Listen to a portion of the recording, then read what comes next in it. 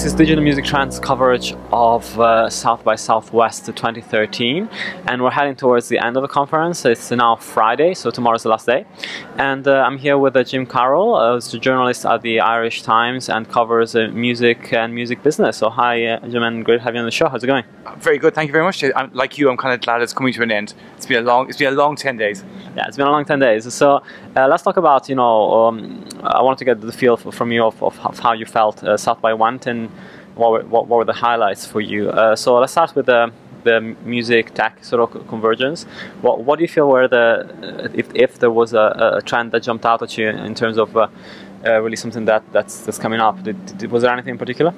I think the biggest trend that jumped, that jumped out of the, of the, of the week of panels and talks was probably the fact that there, there wasn't any big trend. There was there wasn't one big trend. There wasn't one big, I suppose, uh, uh, app movement launch, uh, anything at all that ruled everything as happened in previous years, like Twitter and, and Foursquare. And I think what that also shows is it shows that I suppose South by Southwest is changing again, and this is really interesting. I mean, like I, I cover interactive and I cover music, and music, we leave music aside from it right now. Music will never change. Music is 2,000 bands playing for attention, 2,000 bands who need to get attention by uh, all means necessary. They're playing. That that will always be what music is about. Interactive depends on, I suppose, the, the memes and moods of the time. And right now, they're, they're, you you can point to different things that kind of came out of, of the kind of the, the interactive side that have, I suppose, you know, uh, an effect from music. There's a data. There's a big big emphasis on data and how data can be used. You had Nate, uh, you, you, the best one of the best presentations went to went to was uh, Nate Silver, the statistician who works with New York Times, who predicted last year's U.S. presidential election outcome. He was really really interesting. There was a lot of eh, like pieces on data journalism and how journalists can use data for, for different things, and it got me thinking about like can the music industry use data, and that would be it would have been interesting to have kind of a panel about that as well as part of, as part of that. Then there was also the move, I suppose, a big move towards physical over digital. You had the I suppose the 3D printers which were yeah. everywhere. You also had there was a very interesting uh, panel about the emotional quotient in physical objects, and the example, the uh, I, I, can't remember the name of the guy, but one of the people on the panel gave was to physical record. You know, the, you, you you invest emotionally in that in that physical piece of plastic over an MP3. I mean, who loves MP3s? We don't. You know, we, we use them, we abide them, we tolerate them, we don't love them.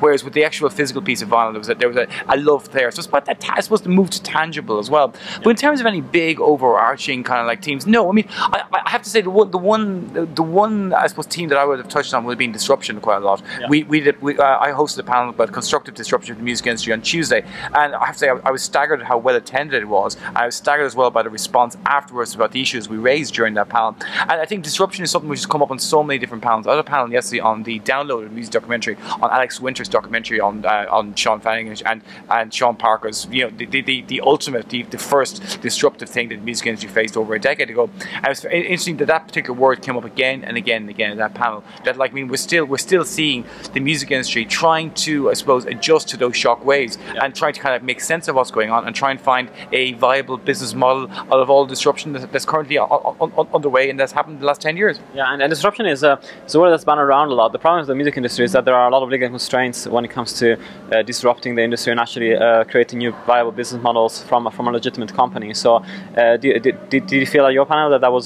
still an issue for, for, for the panelists? Yeah, I think the first thing to address is the fact that disruption is a very negative word. If I said to you, I'm going to disrupt you, it always means I'm going to grab you and shake you quite a lot. But so we put constructive in front of it to like I mean to soften it down or creative is another way of doing it. And I think the music industry here hears the word disruption, it immediately kind of like sends out the tanks, hires legal legals, and goes to war because it doesn't want to be disrupted. It just wants to keep what it has kept.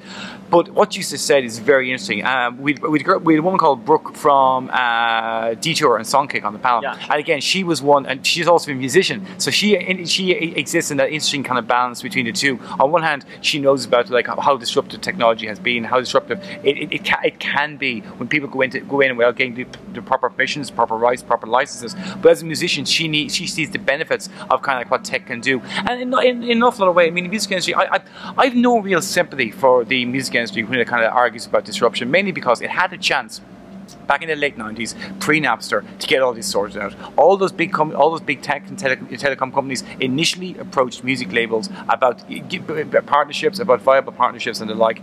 Music industry has a chance to do something back then. It didn't do it. So I know the tech companies just kind of went ahead without permission. But what were they going to do? The calls weren't being returned, or emails weren't being returned. And it's something that what's happening now is a very interesting dance uh, going on between the record labels and the tech companies. The tech companies know they can't do the dog anymore with with, with the record labels because the record companies went down on like a ton of bricks. Plus, as well, the tech companies know from the deals they've done via Spotify and other people that the music labels now are accommodating because, as the music labels know, they have to be accommodating because that's a revenue source. Yeah.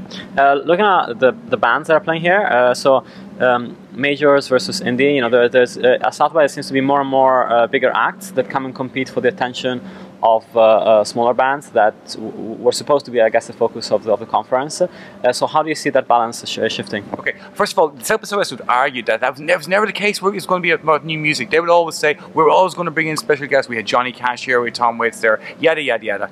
The problem is the narrative has changed. The narrative of by was always about where small bands would go when they rediscovered. I remember seeing Bon Iver playing in a cellar down the road, Fleet Foxes playing in a roof over there, and that was amazing. That made by for me. But as by has got more popular, you're attracting brands. You're attracting the likes of Spotify, Samsung, uh, Nokia, all those big brands are coming in. And in order for those big brands to cut through the noise, what they're doing is they're hiring bigger and bigger acts. And the bigger and bigger acts are, are very happy to pay for the big brands because they're getting a paycheck.